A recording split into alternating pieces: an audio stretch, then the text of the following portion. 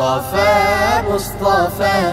منبع للصفا سيد الأنبياء مشعل في الوفا كان في عطفه لليتامى نفا. مصطفى مصطفى منبع للصفا سيد الأنبياء مشعل في الوفا كان في عطفه لليتامى دفا